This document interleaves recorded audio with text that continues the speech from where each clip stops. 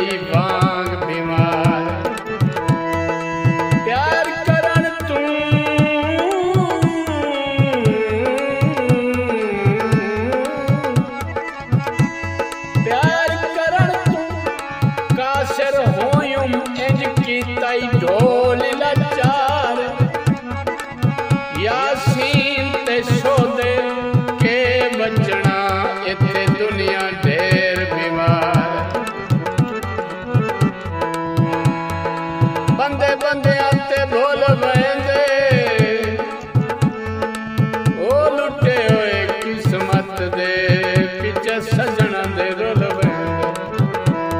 ਲੁੱਟੇ ਹੋਏ ਕਿਸਮਤੀ ਪਿੱਛੇ ਸਜਣਾ